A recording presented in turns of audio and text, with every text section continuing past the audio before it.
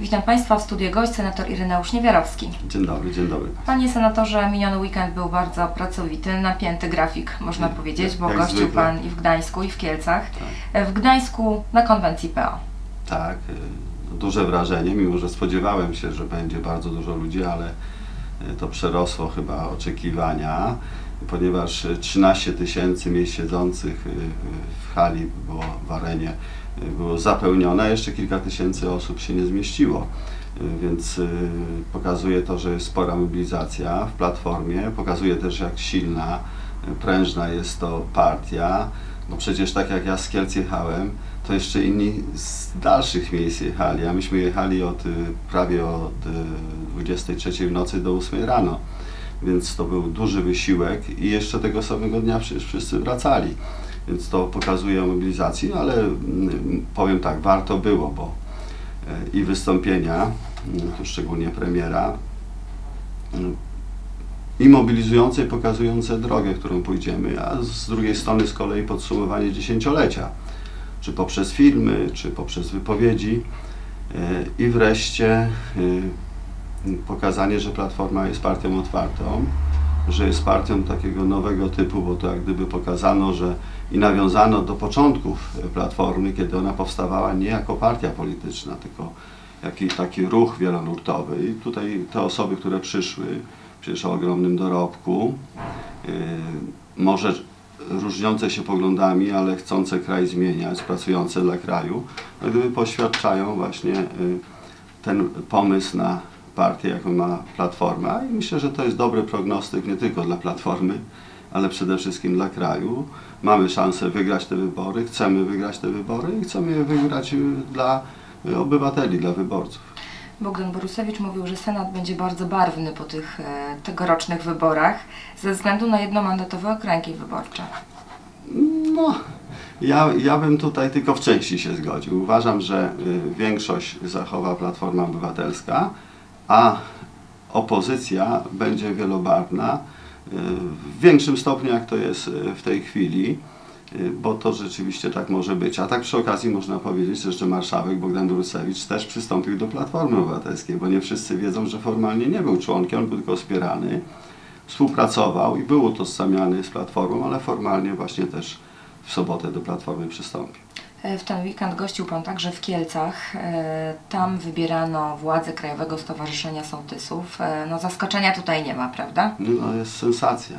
Sensacja, bo żartuję oczywiście. Ponownie zostałem obdarzony zaufaniem tutaj delegatów z całej Polski.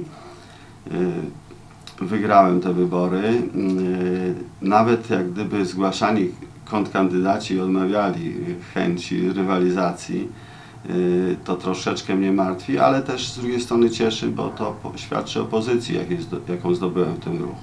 Wybory do zarządu z kolei już była y, bardzo ostra y, rywalizacja, y, oczywiście więc, znacznie więcej kandydatów jak miejsc i tutaj muszę powiedzieć, że nasz region i na, nasze tutaj miejscowe stowarzyszenie odniosło sukces, bo y, Sławek Królak, y, prezes Wielkopolskiego Stowarzyszenia Sołtysów, wszedł do zarządu, został skarbnikiem.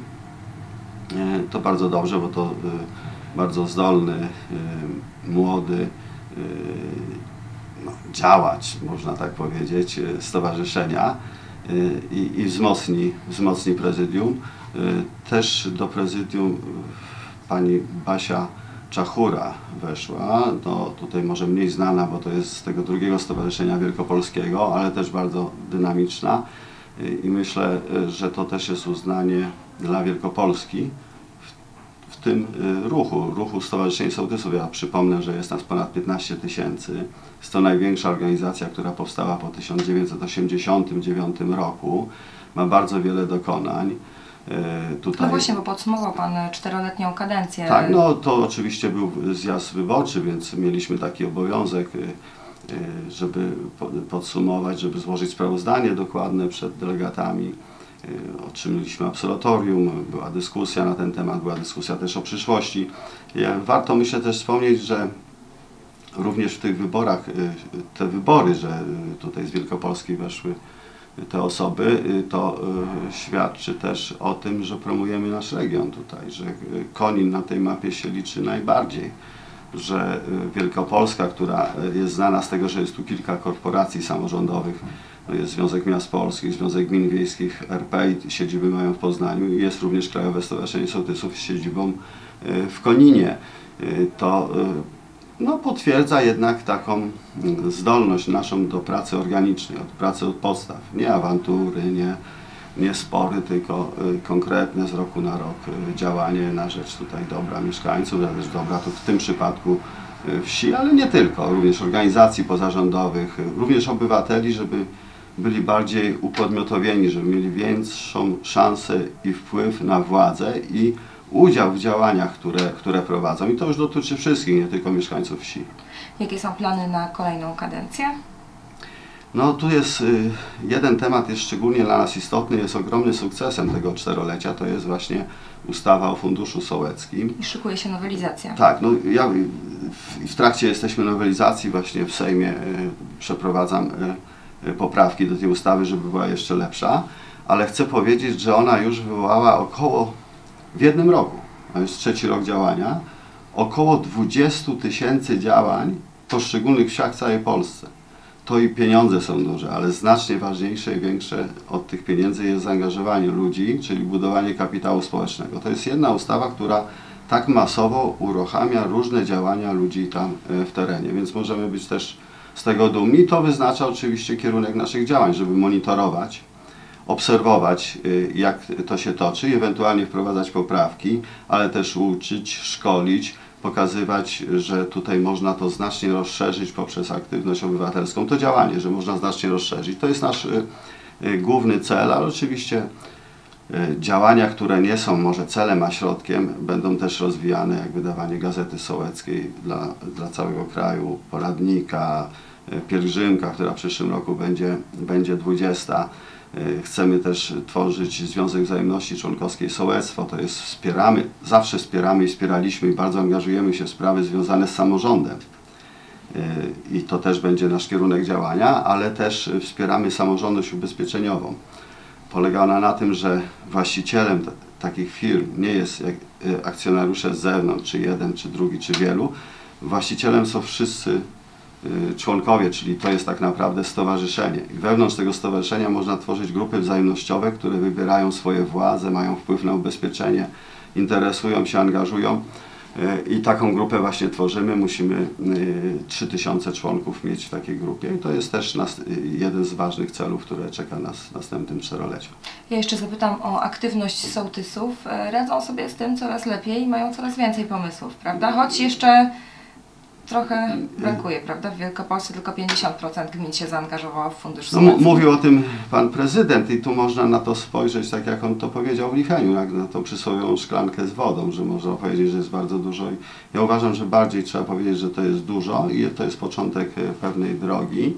Zachęcam dla I, i, pozostałych. i, ten, I ten pomysł, ten fundusz jest też po to, żeby ci liderzy się wyłaniali, uaktywniali i jak y, pokonają pierwsze bariery, to zrozumieją, że znacznie więcej można dobrego zrobić i to będzie y, wtedy osiągnięty cel.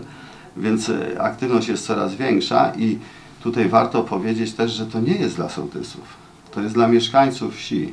Również w pewien sposób dla tych, którzy na wsi mie- mieszkają czasowo, albo też w przyszłości na wieś się sprowadzą, czyli również po części dla mieszkańców miast, ponieważ to działanie ma tworzyć wspólnotę, która myśli o swojej przyszłości i rozwiązuje te e, zadania. I mm, ona ma też taki dobry wpływ, że coraz częściej się o tym mówi.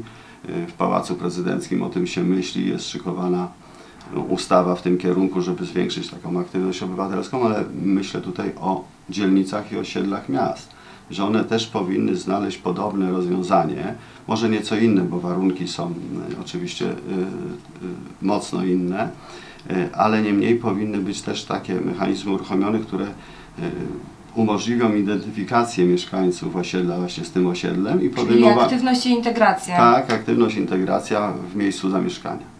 Dziękuję za rozmowę. Dziękuję Senator bardzo. Ireneusz Niewiarowski był moim gościem.